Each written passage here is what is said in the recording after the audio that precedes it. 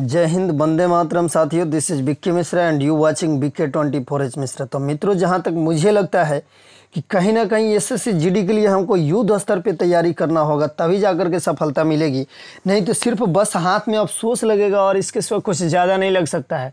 क्योंकि मेरा बस, मैं देन एंड देयर आपको यही पूरा कराना, या तो मैथ से रीजनिंग से जी के जी एस हिंदी हर तरीके के क्वेश्चन जिस तरह भी एस एस में आ सकता है, उस तरह से मैं आपको अफोर्ड कराने का प्रयास कर रहा हूँ अपने स्तर से।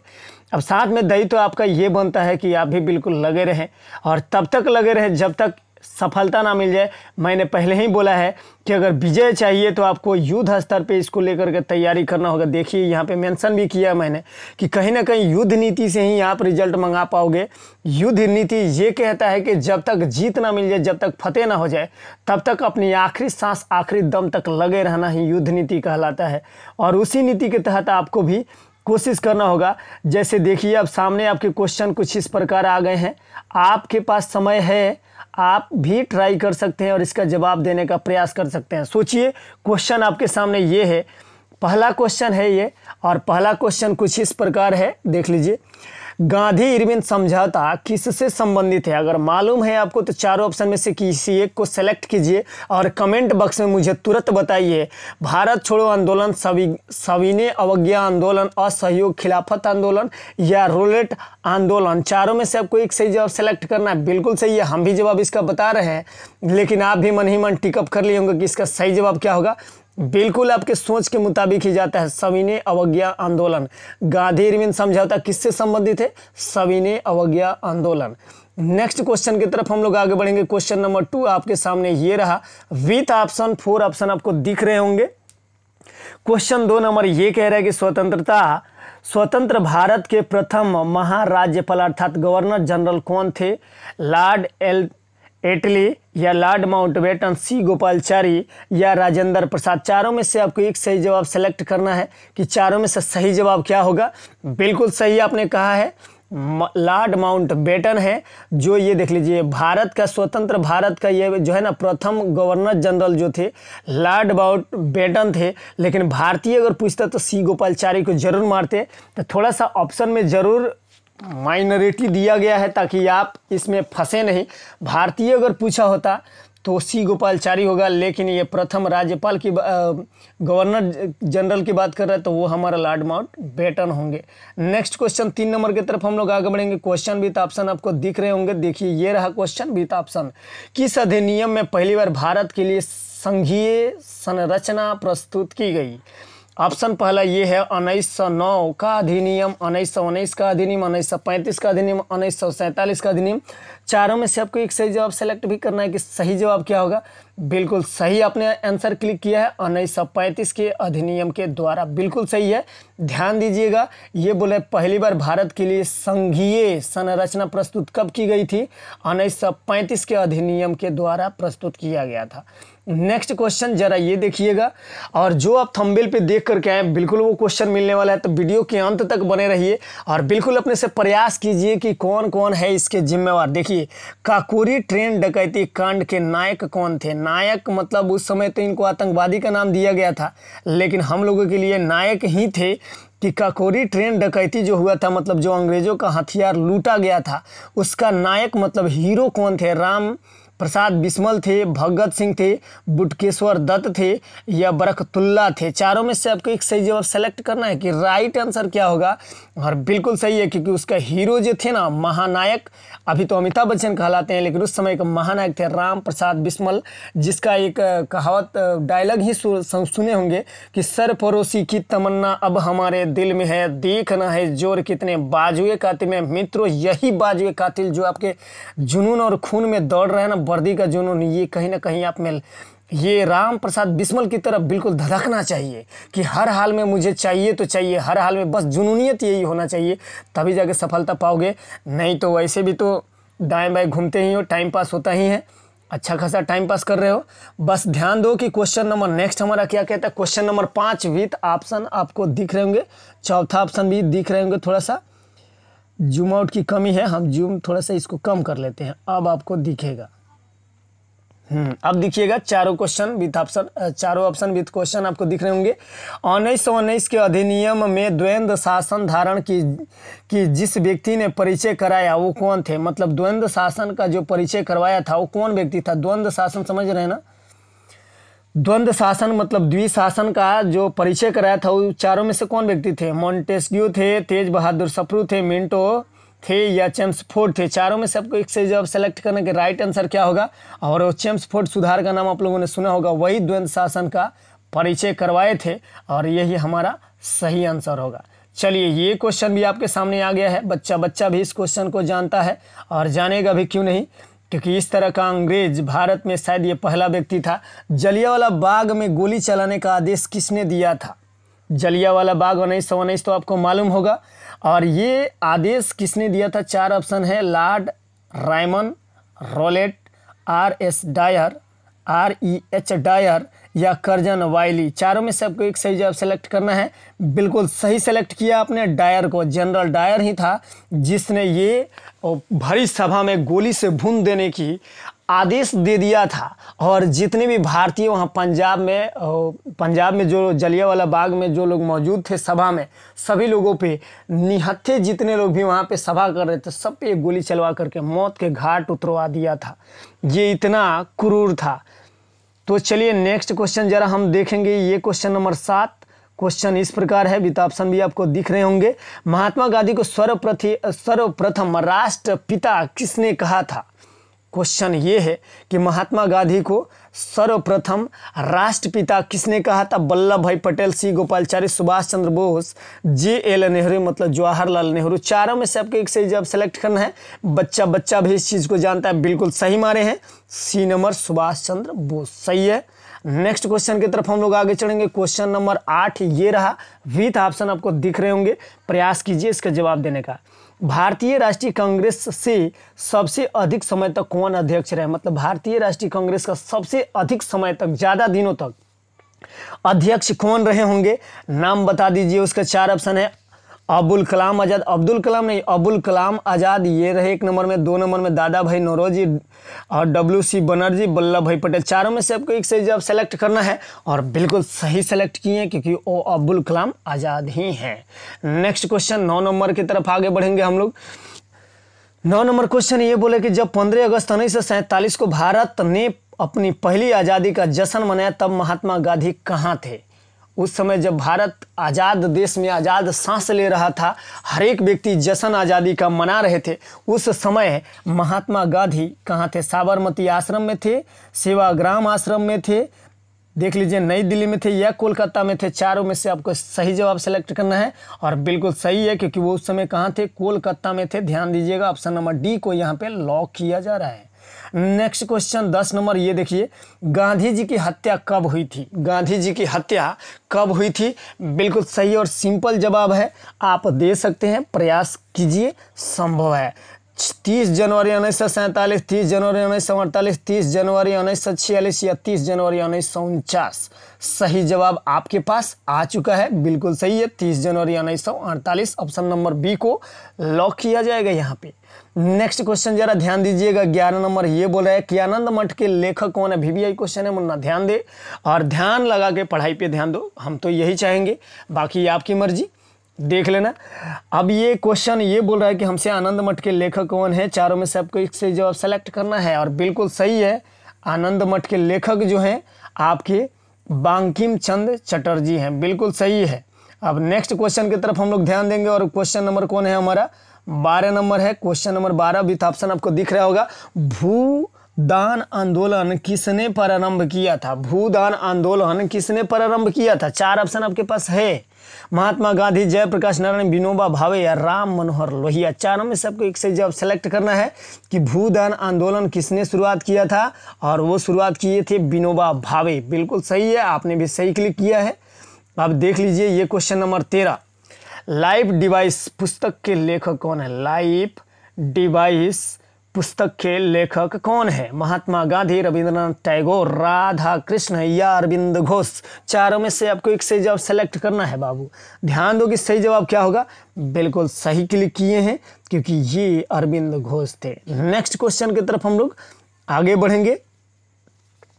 क्वेश्चन नंबर चौदह ये है कि बंगाल की, देख लीजिए, बंगाल की एशियाटिक सोसाइटी के प्रवर्तक कौन थे? क्वेश्चन बहुत सुंदर और खूबसूरत है। बंगाल के एशियाटिक सोसाइटी के प्रवर्तक कौन थे? चारों में से आपको एक सही जवाब सेलेक्ट करना है कि इसका राइट आंसर क्या होगा। और राइट आंसर चारों में से चारों ऑप्शन आपको दिख रहे होंगे। Warren N Hastington sir William James James Mackintosh James Prinsep, चारों में से आपको एक सही जवाब सेलेक्ट करना है कि राइट आंसर क्या होगा। और राइट आंसर जो जाता है कहीं और नहीं, बल्कि सर विलियम जोन्स को जाता है। ऑप्शन नंबर बी को यहाँ पे लॉक किया जा रहा है। नेक्स्ट क्वेश्चन जरा पंद्रह नंबर पे भी गौर फरमाइएगा। पंद्रह नंबर क्वेश्चन तो ऑप्शन आपको दिख गए होंगे। और प्रयास कीजिए इसका जवाब करने का कि भारतीय संविधान सभा के किसके अनुसार गठित की गई थी? भारतीय संविधान सभा जो है, किसके अनुसार गठन किया गया था? साइमन आयोग प्रस्ताव के अनुसार, कैबिनेट मिशन के अनुसार, माउंट बैटन योजना के अनुसार या क्रिप्स प्रस्ताव के अनुसार। चारों में से आपको एक सही जवाब सेलेक्ट करना है। और बिल्कुल सही है, क्योंकि भारत में जो संविधान सभा की गठन किया गया था, वो कैबिनेट मिशन के अंतर्गत किया गया था। उम्मीद है कि बात समझ में आ रहा होगा। थोड़े बहुत प्रयास कीजिए, बाकी थोड़ा आप कीजिए, थोड़ा हम करेंगे, पार लग जाएगी नहीं नैया। चलिए, ये क्वेश्चन बहुत ही महत्वपूर्ण और खूबसूरत है। हर समय किसी न किसी एग्ज़ाम में पूछे जाते हैं। भारत में प्रथम नोबेल पुरस्कार कौन मिला, किसको मिला था या विजेता कौन है? किसी भी प्रकार से क्वेश्चन कर सकता है, जवाब आप ही को करना है। कि भारत में सर्वप्रथम नोबेल पुरस्कार विजेता का नाम बताइए। और नोबेल पुरस्कार विजेता कोई और नहीं, बल्कि आपके टैगोर साहब थे, रविंद्रनाथ टैगोर जी नेक्स्ट क्वेश्चन सत्रह नंबर बीत ऑप्शन आपको मिल रहे होंगे। और ये क्वेश्चन तो ये मत पूछो कि किस एग्ज़ाम में नहीं आते, लगभग हर तरह के एग्ज़ाम में पूछे जाते हैं। भारत का राष्ट्रीय पंचांग किस संबत पर आधारित है? भारत का राष्ट्रीय पंचांग किस संबत पर आधारित है? पहला, विक्रम संबत कलिंग संबत शक संबत इनमें से कोई नहीं। और आप अच्छी तरह जानते हैं और आंसर कर लिए होंगे। शक संबत पे हमारा पंचांग जो है, वर्तमान में ये जनवरी, फरवरी, मार्च, अप्रैल, संडे, मंडे नहीं करते हैं। ये सब शक संबत पे आधारित है। चलिए नेक्स्ट क्वेश्चन की तरफ़ हम लोग आगे बढ़ेंगे। क्वेश्चन नंबर अठारह, ये बोल रहा है आपसे कि दिल्ली में केंद्रीय सचिवालय के उत्तरी और दक्षिणी खंडों का वस्तुविद कौन था? मतलब दक्षिणी और उत्तरी जो सचिवालय बनाया गया, उसका वस्तुविद मतलब संन्यास जो उपन्यास के सॉरी उपन्यास बोल रहे हैं। जो उसका शिलान्यास किया था वो कौन था? एडवर्ड लोस्टिंग एंटोनिंग रेमंड या रॉबर्ट टसेल हर्बर्ट बेरकस। चारों में से सही जवाब को सिलेक्ट करना है कि राइट आंसर क्या होगा? राइट आंसर जो जाता है, बिल्कुल सही है, एडवर्ड लुटियंस ने किया था। वो ऑप्शन नंबर आप ही क्लिक किए हैं, सही किए हैं। एडवर्ड लुटियंस ने दक्षिणी और उत्तरी सचिवालय का वस्तुविद मतलब उसी ने शिलान्यास इसका किया था। नेक्स्ट क्वेश्चन जरा 19 नंबर अभी तो ऑप्शन आपको दिख रहे होंगे। निम्नलिखित में से कौन सी कृति रविंद्रनाथ टैगोर की नहीं है? चारों ऑप्शन में से आपको सही बताना है वो क्वेश्चन जो रविन्द्रनाथ टैगोर ने रचना नहीं किया मतलब उसकी रचना नहीं किया था। चित्रा, कपाल, कुंडला, द कोट डांसर या चित्रंगदा। चारों में से आपको एक सही जवाब सेलेक्ट करने कि राइट आंसर क्या होगा? और बिल्कुल सही है, क्योंकि तीन पुस्तक की रचना टैगोर साहब ने किया था। बस कप कपाल कुंडलम देख रहे ना कपाल कुंडलम की रचना इन्होंने नहीं किया था। कपाल कुंडला ऑप्शन सही होता है और इसी की रचना टैगोर साहब ने नहीं किया था, इसलिए ऑप्शन नंबर हमारा ये सही हो जाता है। नेक्स्ट क्वेश्चन जरा ध्यान दीजिएगा, बीस नंबर आपके सामने आ गए हैं। एक ऑप्शन आपसे मिसिंग हो रहा है, थोड़ा सा इसको जूम कम कर देंगे, दिख जाएगा। दिख गया, किस गवर्नर के कार्यकाल के दौरान उन्नीस सौ इक्कीस ईस्वी में कोलकाता में विक्टोरिया मेमोरियल हॉल का निर्माण कार्य पूरा हुआ था? आपको क्वेश्चन का जवाब देना है कि विक्टोरिया महल जो कोलकाता में बना, वो किसके कार्यकाल में बना था? चार ऑप्शन आपको मिलेंगे। एलिगन, करजन, मिंटो या रेडिंग। चारों में से आपको एक से जवाब सेलेक्ट करना मुन्ना। बताओ कि इसका राइट आंसर क्या होगा? और वो लार्ड कर्जन के समय में विक्टोरिया महल का निर्माण हुआ था। उम्मीद करते कि बात समझ में आ गया होगा। नेक्स्ट क्वेश्चन इक्कीस नंबर ट्वेंटी वन पे ध्यान दे रहे मुन्ना। बस ध्यान दे, बस थोड़ा बहुत क्वेश्चन है। हम तीस क्वेश्चन ही इसमें किए हैं, ज़्यादा नहीं किए हैं। हमको मालूम है कि ज़्यादा देर तक आप अपने आप को पढ़ाई पर रोक नहीं पाते हो, थोड़ा इधर उधर। मन चंचल है ना आपका, इधर उधर घूमने में ज़्यादा ध्यान दे रहे हो। पढ़ाई पर कम ध्यान दे रहे हो। हमने पहले ही बता दिया है कि एसएससी में फाइनल एग्ज़ाम रिज़ल्ट चलाना चाहते हो तो युद्ध स्तर पर आपको तैयारी करना ही होगा। विकल्प आपके पास दूसरा नहीं है। अगर है तो बेशक आप उसे आजमा सकते हैं। बस टाइम पास हो सकता है, रिज़ल्ट नहीं। चलिए, नेक्स्ट क्वेश्चन, किसने अठारह में बनारस में सेंट्रल हिंदू कॉलेज स्थापित किया था, जो बाद में बनारस हिंदू विश्वविद्यालय के नाम से प्रचलित हो गया? Madan Mohan Malaviya, lord Dufferin, Annie Besant, Ishwar Chandra Vidyasagar. चारों में से आपको एक सही जवाब सेलेक्ट करना है, इसका आंसर तो बच्चा बच्चा भी जानता है। पहले ये सेंट्रल हिंदू कॉलेज के नाम से स्थापित हुआ था, और बाद में बनारस हिंदू विश्वविद्यालय के नाम से जाना गया और इसका कोई और जवाब नहीं है, बल्कि आपका एनी बेसेंट को यहाँ पे लॉक किया जाता और यही सही है, ऑप्शन नंबर सी, आप भी लॉक किए, हम भी किए, बात सही हो गया। चलिए नेक्स्ट क्वेश्चन, जरा ध्यान दीजिए, क्वेश्चन नंबर कौन आ गया हमारे पास? बाईस। क्वेश्चन नंबर 22 बहुत ही खूबसूरत और मज़ेदार क्वेश्चन है, हम तो यूँ कहेंगे, रट्टा मार जाइएगा इस तरह के क्वेश्चन को, और लगभग लगभग सभी क्वेश्चन को मैंने इसी लेवल पे कराया ताकि रट्टा मार जाओ, इसके सिवा विकल्प नहीं है। क्वेश्चन ये कि भारत का राष्ट्रीय ध्वज का डिज़ाइन किसने तैयार किया था? ध्यान दीजिएगा, ये जिसने भी तैयार किया था ना, इसी को भारत की करा, भारतीय क्रांति की माँ कहा जाता है। भारतीय क्रांति की माँ भी इसी को कहा जाता है। और राष्ट्रीय ध्वज मतलब तीन रंग का तिरंगा जो होगा, ये सबसे पहले दिमाग में अगर किसी के आया, और सबसे पहले इसे सजाने का किसी ने कार्य किया तो वो कौन थे? चारों में से वही नाम लिखा गया है। एनी बेसेंट सोरजनी नायडू विजया लक्ष्मी पंडित या मैडम भिखाजी कामा। चारों में से सब सही जवाब आपको सेलेक्ट करना है। और बिल्कुल बिल्कुल सही पे जा रहे हैं, क्योंकि वो मैडम भीखा जी कामा ही हैं, जिन्होंने राष्ट्रीय ध्वज, जो तीन रंग का तिरंगा आपको दिखाई दे रहे हैं, इन्होंने ही वो डिज़ाइन तैयार किया था। सबसे पहले इसीलिए माता भेट भिखा जी कामा को भारतीय क्रांति की माँ अर्थात जननी कही जाती है।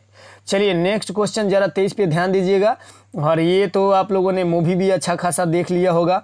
और आ भी गया देवदास उपन्यास के रचनाकार कौन हैं? देवदास रचना देवदास जो उपन्यास है ना, उसका रचना किसने किया? प्रेमचंद्र या शरद चंद्र चट्टोपाध्याय, मैथिली शरण गुप्त, फरीश्वरनाथ रेणु। चारों में से आपको सही जवाब सेलेक्ट करना है। च से चुन्नू बाबू, जरा बता दो कि क्या होगा इसका जवाब? मालूम? नहीं मालूम। चलिए, चार ऑप्शन में से आपको सही जवाब मिल गया होगा। और हम भी बता देते हैं, क्योंकि इसको कोई और नहीं, बल्कि आपके यही चट्टोपाध्याय जी ने किया था। शरत चंद्र चट्टोपाध्याय ने देवदास उपन्यास की रचना किया था। नेक्स्ट क्वेश्चन ये है, उपन्यास से ही है कि चित्रा उपन्यास किसके द्वारा लिखा गया? चित्रा उपन्यास किसके द्वारा लिखा गया? चार ऑप्शन है। भरत चंद्र चट्टोपाध्याय, बंकिम चंद्र चट्टोपाध्याय रविंद्र नाथ टैगोर या तारा शंकर वादोपाध्याय। चारों में से आपको एक सही जवाब सेलेक्ट करना है कि चित्रा उपन्यास का रचनाकार किसने किया है? और चारों में से सही जवाब जो जाता है, बिल्कुल सही है। आपने भी सही और कमाल का आंसर कर रहे हो आप। बहुत अच्छा कर रहे हो। ऐसे ही लगे रहो। रविंद्रनाथ टैगोर ही हैं चित्रा का। इन्होंने उपन्यास कुछ नेक्स्ट क्वेश्चन प्रीवियस क्वेश्चन में ये आया भी था। आपने ध्यान दिया भी होगा। नेक्स्ट क्वेश्चन ये देखिए। प्रेमी पचीसी के रचनाकार कौन है? चार ऑप्शन आपको दिख रहे होंगे कि प्रेमी पचीसी के रचनाकार कौन है? प्रेमी पचीसी के रचनाकार कौन है बेटा? बता दे। जल्दी। प्रेम प्रेमचंद्र फणेश्वरनाथ रेणु या जय शंकर प्रसाद या महादेवी वर्मा। चारों में से आपको एक सही जवाब सेलेक्ट करना है। धाक से बता दो तो, तो काम हो जाएगा। और इसका सही जवाब जो जाता है बिल्कुल सही है क्योंकि प्रेमचंद ही हैं जिसने प्रेमी पचीसी की रचना किया था। नेक्स्ट क्वेश्चन की तरफ़ हम लोग आगे चढ़ेंगे। छब्बीस नंबर क्वेश्चन भी था। ऑप्शन आपको दिख रहे होंगे। खटाक से पढ़ो और सटाक से आंसर बता दे इसको। क्षुद्रित पाषण के रचयिता कौन है? क्षुद्रित पाषाण के रचयिता कौन है? जयशंकर प्रसाद, शरद चंद्र चट्टोपाध्याय, रविन्द्रनाथ टैगोर, प्रेमचंद, चारों में से आपको एक से जवाब सेलेक्ट करना है। राइट आंसर आपको ढूंढना है कि राइट आंसर इसका क्या होगा? और राइट आंसर जो जाता है कहीं और नहीं, बल्कि रविंद्रनाथ टैगोर के पास जाता है। चलिए, रविन्द्रनाथ टैगोर हो गए। नेक्स्ट क्वेश्चन की तरफ़ हम लोग आगे बढ़ेंगे। सत्ताईस नंबर। और बीता ऑप्शन भी आपको दिख रहा होगा, विश्व इतिहास के झलक के रचयिता कौन है? विश्व इतिहास के रचयिता विश्व इतिहास की झलक जो है, ये किसने लिखा है? जवाहरलाल नेहरू, महात्मा गांधी, लियो टल्स्टाय, या इनमें से कोई नहीं? बिल्कुल सही है। आपने सही जवाब किया है। कोई और नहीं, बल्कि आपके जे एल नेहरू अर्थात जवाहरलाल नेहरू है। ऑप्शन नंबर एक को लॉक किया जा रहा है। चल बेटा दो और क्वेश्चन है, ध्यान देना। अब ये क्वेश्चन नंबर हमारे पास अट्ठाईस आ गया है। सत्ताईस सितंबर उन्नीस सौ ग्यारह में पहली बार जन गण मन कहाँ पर गाई गई थी? ये क्वेश्चन यहाँ से पूछना चाहेंगे। कमेंट बॉक्स में उस क्वेश्चन का जवाब मुझे अभी तुरंत चाहिए, अगर आपको जानकारी है तो दे दीजिएगा। ये जनगण मन रचना किसकी है? किसने लिखा है जनगण मन? राष्ट्रीय गान के नाम से जाना जाता है। इसको गाने में कुल बीस सॉरी, पूरा गाएँगे तो बावन सेकंड लगेगा, शॉर्ट में गाइएगा तो बीस सेकंड लगेगा। लेकिन हमारा क्वेश्चन ये है कि जनगण मन की रचना किसने किया है? लेकिन सबसे पहले कब और कहाँ गाया गया था? तो सत्ताईस सितंबर। देख बेटा, अब क्वेश्चन जब कोई पूछ दे कि कब और कब गाया गया था? सत्ताईस सितंबर, उन्नीस सौ ग्यारह में पहली बार जनगण गाया गया था। लेकिन यहीं पे क्वेश्चन कोई पूछ दे कि कब गाया गया था, कहाँ गाया गया था? तो चारों में से आपको एक सही जवाब सेलेक्ट करना कि कहाँ पे। मुंबई, लखनऊ, कोलकाता या साबरमती, चारों में से आपको एक सही जवाब सेलेक्ट करना है कि राइट आंसर क्या होगा। राइट आंसर जो जाता है वो कोलकाता में जाता है, क्योंकि सबसे पहली बार जनगण मन सत्ताईस दिसंबर, उन्नीस सौ ग्यारह को कोलकाता में गाया गया था। नेक्स्ट क्वेश्चन उनतीस नंबर, अर्थात सेकंड लास्ट क्वेश्चन होगा। और बिल्कुल हम लोग करीब में आ चुके हैं। भारत में पहला समाचार पत्र किसने शुरू किया था? भारत में पहला समाचार पत्र किसने शुरू किया था? चार ऑप्शन है आपके पास। Dadabhai Naoroji, Syed Ahmed Khan, Rabindranath Tagore, James Hicky. चारों में से आपको एक सही जवाब सेलेक्ट करना। फिक्स करो जल्दी, सटक से। कि सही जवाब क्या होगा? खटाक से मार दो बेटा। सोचो मत कि सही जवाब क्या होगा? और कोई और नहीं, भिक्की नहीं रे, हिक्की। जेम्स हिक्की थे जो भारत में पहली बार समाचार पत्र की शुरुआत किए थे। रट्टा मारजा।